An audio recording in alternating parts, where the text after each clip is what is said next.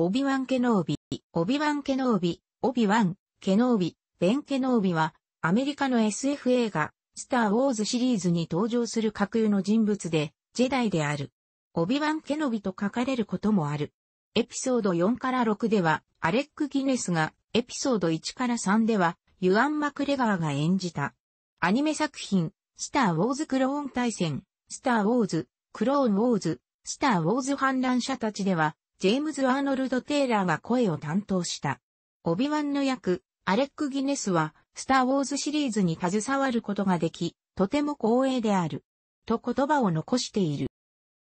アナキン・スカイウォーカーとルーク・スカイウォーカーの2世代の主人公に死としてフォースの道を教えたシリーズ中でも重要な人物である。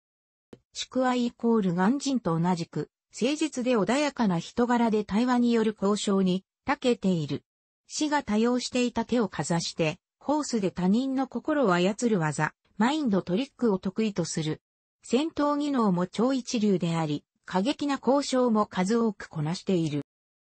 ジェダイの中でも特に強力なフォースを持つヨーダや、権威に優れたメースウィンドなど大きく突出した能力はないが、代わりに弱点と言える弱点が存在せず、バランスよくすべての能力に優れいる。アナキンは、エピソード2劇中で、パドメに、オビワンについて、マスターウィンドウのように強く、マスターヨーダのように賢いと評している。突出していないとはいえ、各種の能力は、経験に裏打ちされた高いレベルに達しており、死を失った後も独自にフォースの修練をしていたため、強力なフォースを使いこなし、実践を経た剣の腕も相当なものである。剣技の型が防御持久型だったため、最強の戦闘能力を誇りかつ攻撃型の剣技支援を使うアナキンとの一騎打ちでは終始、防戦一方だったが、地の利を巧みに使い、彼の一瞬の隙を突くことで辛くも勝利を収めた。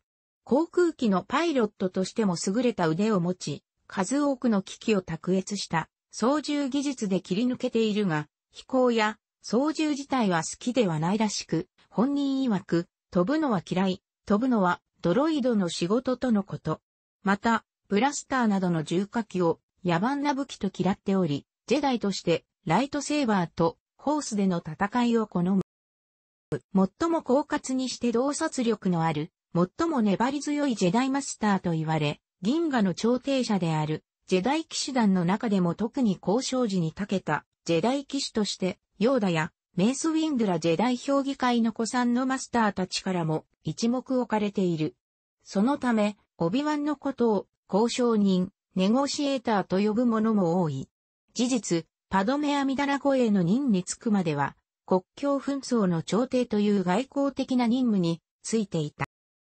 得意とする権利の方は守りに重点を置いた、ソーレスであり、ジェダイの騎士最高の剣士と称えられる、メースウィンドにさえも、ザマスター、ソーレスを極めたものと言わしめるほどの実力持つ。もともとは、死のクワイイコールガンと同じ当たるの使い手だったが、アクロバティックな動きから来る防御不足と体力消費量が裏目に出て、クワイイコールガンがダースモールに殺されたことから防御持久型のレスに切り替えた。ただしアタルの修行自体は継続していた様子で、スターウォーズ、クローンウォーズでは、弟子のアナキンがアタルの型を披露する場面があるほか、反乱者たちで再び、ダースモールと対峙した際にはあえて、アタルを、ソーレス、シャイコール、蝶の構えを経て使用し、勝利している。劇中の戦闘では、死を倒したダースモールを仕留めたのを皮切りに、完全武装のジャンゴヘッドをライトセーバーを落とした状態ながら、飛び蹴りで追い詰め、ジオノーシスの闘技場に引き立てられた際は、手錠をかけられ、両手が不自由ながらも、猛獣や万兵を圧倒。クローン対戦では4本のライトセーバーを同時に、操るグリーバス将軍と諸刃の武器を振るマグナガードも難なくあしらっており、極めて高い戦闘技術と経験から来る順応性を見せている。とりわけ、絶壁に追い詰められた時に、持ち前の危機回避能力を発揮しており、幾度となく生還を果たしている。ダースモールやダースベイダー、アナキンといった自分以上の実力者に対しても、奇策や地の利を利用することで、最終的に勝利を獲得した。ただし、死の死にあたるドゥークー伯爵とは、先方の相性が悪いのか、その能力を最大限に発揮することができず早々に負傷、または気絶によって戦闘不能にさせられており、苦手としている。シスの復讐の小説では、アナキンと共にドゥークーと互角に戦っているが、紳士らしくない戦い方をされ、フォースにより壁に叩きつけられ、負傷している。また、エピソード1から3において戦闘中にライトセーバーを落とすという致命的な失態も演じており、そのせいで幾度となく危機に陥っている。戦闘の際は他のジェダイ同様、ライトセーバーのみを使用するが、応急的にブラスターを使用したこともある。が、エピソード3、シスの復讐や、エピソード4、新たなる希望ではブラスターを野蛮な、優雅でない、無粋な武器と称していることから、戦闘には一種の美学も持ち合わせているようである。エピソード4では、ライトセーバーを宇宙で最も洗練された武器と語ってる。スターウォーズクローン対戦や、スターウォーズ、クローンウォーズとその TV シリーズのシーズン3まででは、クローントルーパーの装甲服を使用している。独自の信念に従って行動し、評議会との対立も顧みなかった宿はイコール、肝心の背を見て育ってきたせいか、奔放な弟子アナキンに対し、ジェダイの掟に従う、よう説教する場面が多く、弟子や他のジェダイと行動を共にするときは、自制して、模範的なジェダイとしての行動に努めている。だが本人は自覚していないものの、オビワン自身も死の異端的な性格を確実に受け継いでり、単独任務や緊急事態ではジェダイらしからぬ考えや行動を見せることも多かった。エピソード2では自分の任務は護衛と言いつつ、暗殺ドロイドに飛びかかって追跡したり、ジェダイ公文書館の情報よりも、デクスター・ジェスターのような一般庶民からの情報に基づいて行動したりと、ジェダイとしては一風変わった側面も見せており、任務遂行のためには手段を選ばない柔軟性も持っている。ただし、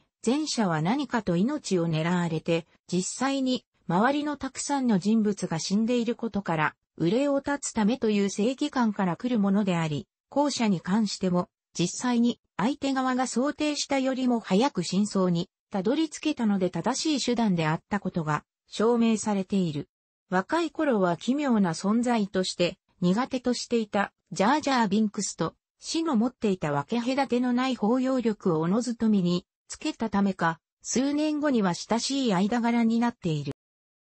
無念の死を遂げたしクワイイコールガンの意志を継ぎ、クワイイコールガンが見出したアナキンを弟子として指導することになったオビワンは、評議会の計らいで、通例より若干早く騎士に昇進している。しかしながら、死であるオビワンより、ホースの素質に恵まれ、周囲から選ばれし、者として注目を浴びていた弟子アナキンの指導は難儀を極めた。亡き死であれば、自分よりもより良い指導を行ったのではないか、という苦悶や、死よりも恵まれた能力に慢心を抱くアナキンの傲慢さをたしなめる時など、評議会との板挟みに追い込まれることも多く、悩み大き指導者となった。もともとは生真面目な性格であったが、何かと評議会に立てつくしクワイーコールガンと評議会の間でも苦労してきており、この長年の経験に揉まれたせいか、やや皮肉っぽくひょうひょうとした性格になってしまった。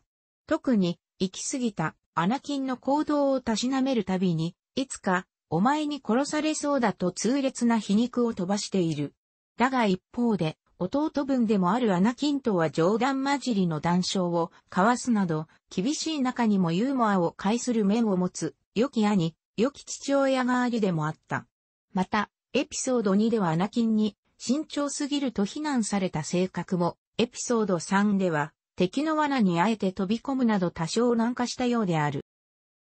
クローン戦争に巻き込まれるまでは、ジェダイの関わる範以外のことに関しては、比較的ドライに受け止めており、徐々にパルパティーンとの関わりが目立つようになるアナキンに対し、オビワンは一貫して、所詮、政治家は信用できないというスタンスを通している。親しい友人であったパドメですら例外ではなく、特別視しようとするアナキンに対し、彼女も政治家だとっている。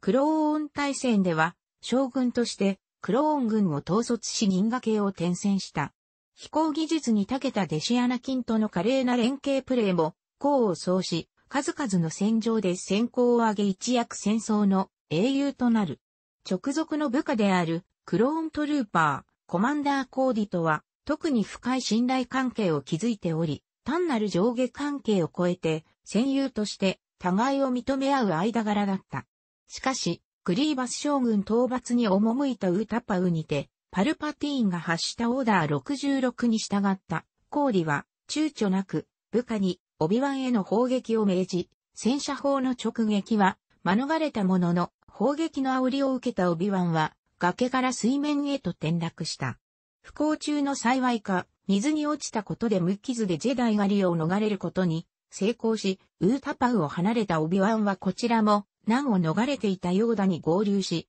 混乱の中で情報収集に当たった。突然のクローン戦争終戦の後、それに代わってジェダイ狩りが始まった。パルパティンによる体制転覆と議会招集の混乱に紛れて聖堂に戻ったオビワンは、アナキンがシスに寝返り、暗黒教、ダース・ベイダーになっていたという驚愕の事実にショックを受ける。最愛の弟子であり、家族同然のアナキンを取り戻すため、皇帝となったパルパティーンを討ち取ると息巻く、オビワンだったが、ヨーダは、お前の力では叶わん。相手が強すぎる、と静止されてしまい、非常にも堕落したアナキンの始末を言い渡されしまう。皇帝の暗殺をヨーダに任せると、オビワンは、アナキンの動向を探るため、アナキンの恋人であると薄々感づいていたパドメに、真相を告げ、動転したパドメの宇宙船に忍び込んでアナキのいるムスタファーに向かった。パドメの乗った宇宙船からオビワンが姿を現したことに憤慨するアナキンは、パドメが自身を殺すために連れてきたと誤解。オビワンの行動は、アナキンが、フォースグリップによって、最愛の人であるはずのパドメに危害を加えるという、最悪の事態を招いてしまった。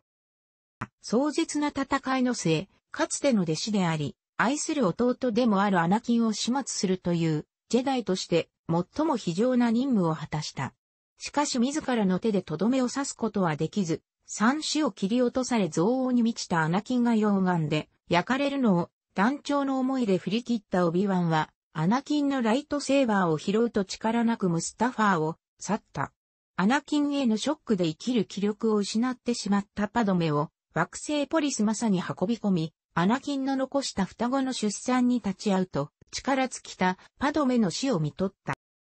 すべてが絶望的な状況の中、オビワンは、ヨーダ、ベールプレスター・オーガナと今後の方針について協議した後、ヨーダからかつての死クワイイコールガンがホースの冥界から戻ったと聞かされる。クワイイコールガンは生き返ったわけではなく、死後ホースと一体になりながらも意志を保っており、そのクワイイコールガンの意志と交信できるようになったということである。生まれたばかりのリューク・スカイウォーカーをタトゥイーンのラーズ家に預けると、自身もルークの成長を見守るべくその地で、イントン生活を始めた。その後ほどなくして、ムスタファーで倒したアナキンが生きており、サイボーグの暗黒鏡、ダース・ベイダーと化していたことを知る。約20年のイントン生活の間も修行を積み、フォースと一体となったナキシと交信する術を体得し、自身も死後フォースと一体になる術を身につけた。このイントン生活の間、ベンケノービと名乗っていた。その後、レアオーガナからの救援要請を受け取り訪れた、ルーク・スカイウォーカー一行を引き連れ、モス・アイズリーの宇宙港へ赴く。そこで、ハンソロと中ばっかの二人をルークと巡り合わせた。一路、オルデランへ向かうも、惑星、オルデランはすでにです。スターの攻撃を受け消滅しいた上、彼らの乗るミレニアム・ファルコンも奪捕されてしまう。その後、守備よくです。スターの内部に侵入し、牽引ビームの電源を切った後かつての弟子、ダース・ベイダーと因縁の再戦を果てた。決闘の末、ルークたちを逃がすために自ら防御を時敵の歯にかかると、ホースと一体化することで肉体を消し去った。霊体化の秘技によって、その後も声や霊体を通し、ルークに助言を与え導いた。来るべき決戦に備え、ルークに惑星、ダゴバに住むヨーダのもとで修行をこなすよう命じ、オビワン自身の魂も、ヨーダと共に、ルークの成長を見守り続けた。だが、ただ一度だけ、ホースで予見した、レイヤたちの危機を救うべく、ダゴバでの修行を後にして、彼女たちの救出に向かうルークに対し、ベーダーと戦う時は加担できんと告げしており、宣告通りルークがライトセーバーでベーダーと対決する時は終始彼への助言を行わなかった。やがて、ルークがベーダーを暗黒面から救い出したのと同時に、皇帝を倒して銀河に平和が訪れると、オビワンは霊体となったようだ、アナキンと再会を果たすのだった。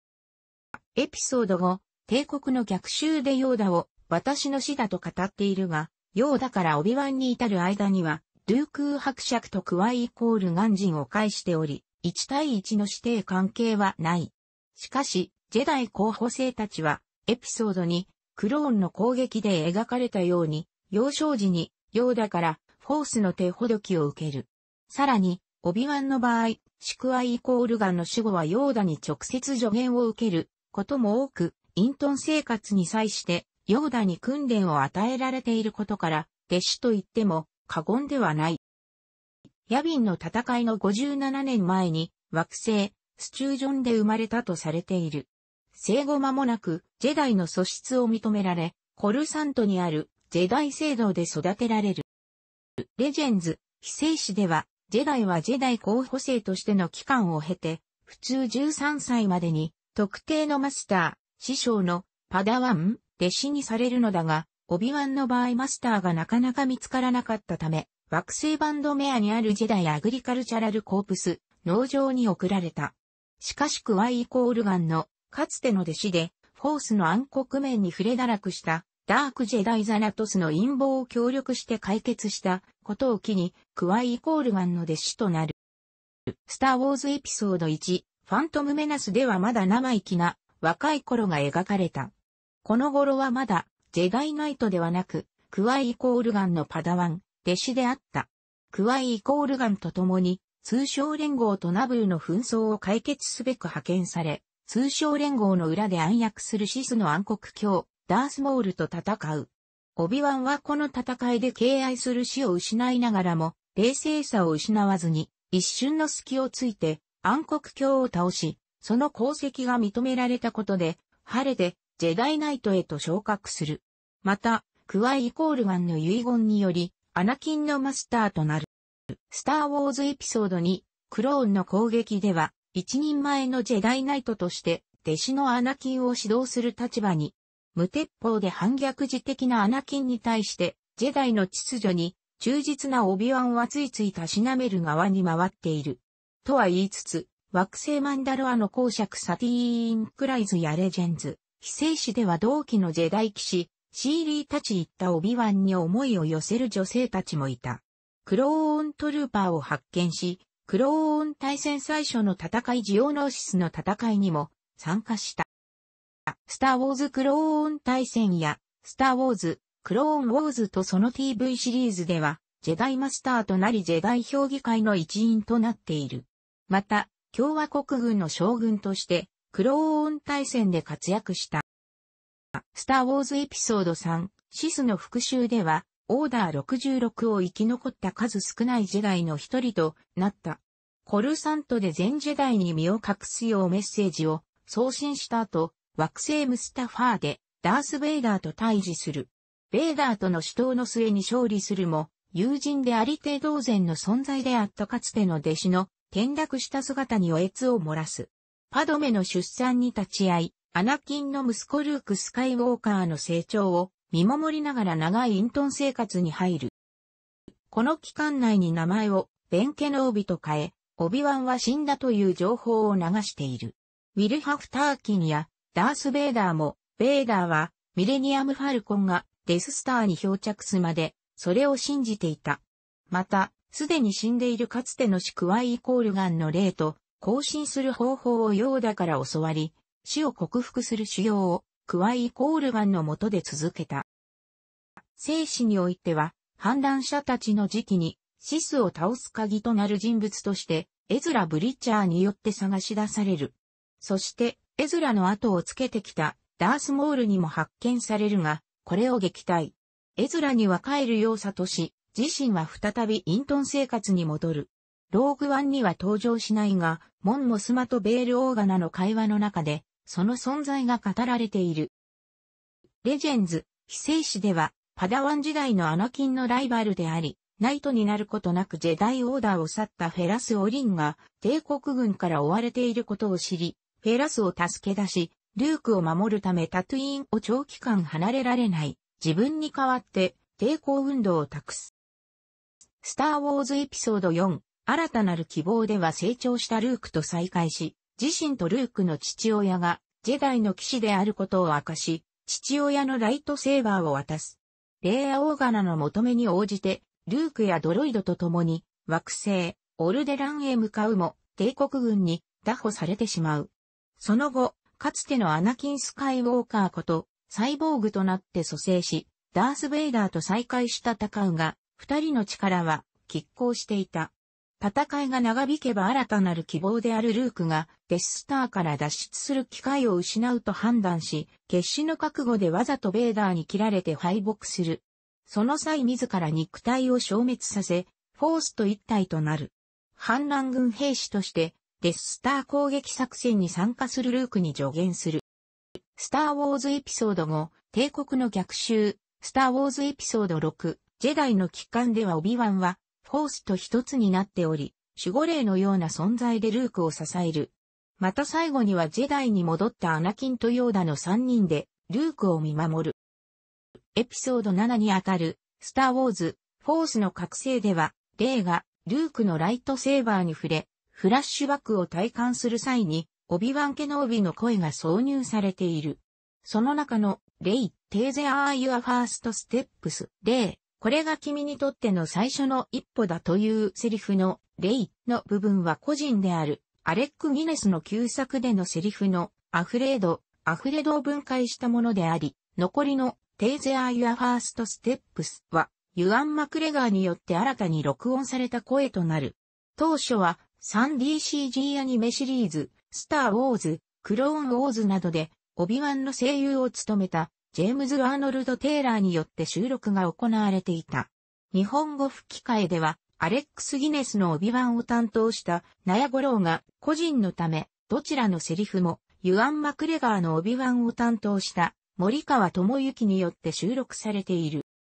レジェンズ、非正史のスピンオフ作品では、エンドアの戦い後もルークに対して、助言を与え続けるが、一人前となったのを見届けると、スローン三部作の冒頭で別れを告げ、以後はルークが呼びかけても現れなくなる。しかし、ニュージェダイオーダーシリーズの完結編で、約20年ぶりにルークと接触している。アレック・ギネス、エピソード4から6、ホースの覚醒ユアン・マクレガー、エピソード1から3、フォースの覚醒ジェームズ・アーノルド・テイラー、アニメ作品、マイケル・ドノバン、サムエル・ヴィンセント、若い頃、アニメレゴ・スター・ウォーズ。楽しくご覧になりましたら、購読と良いです。クリックしてください。